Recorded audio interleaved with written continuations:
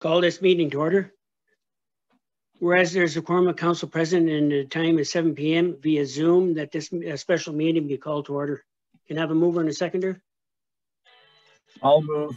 I'll second. Kevin, you'll move it there and Edith will second. Kevin, you're for or against? Yes. I'm in Edith? favor. In favor. Uh, Pat, Pat's in favor. Glenda, In favor. Cheryl, In favor. Dale, In favor. motion carried. Be it resolved that uh, we move into closed session at uh, 70, uh, 7:04 to deal with municipal staff issues there. Can I have a mover and a seconder? Glenda. Glenda, move it there. Seconder, Cheryl. Cheryl. Kevin, for or against? I'm in favor. Edith, In favor. Pat, Pat's in favor. Glenda, In favor. Cheryl, In favor. Dale, In favor. motion carried.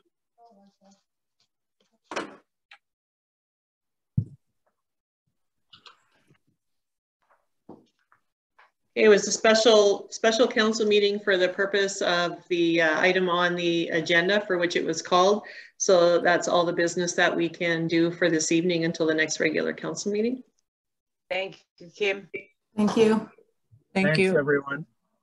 Good night, everybody. Good night. Oh, we got a resolution to close it. Yeah, Oh, we yeah, that's right. Okay, be it resolved, the special uh, council meeting be adjourned at uh, 7:35 uh, PM there. Can I have a mover and a seconder? Glenda. Glenda, I'll second.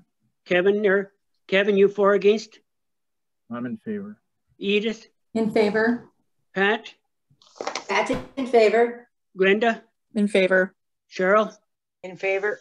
Dale, In favor. motion carried. Thank you.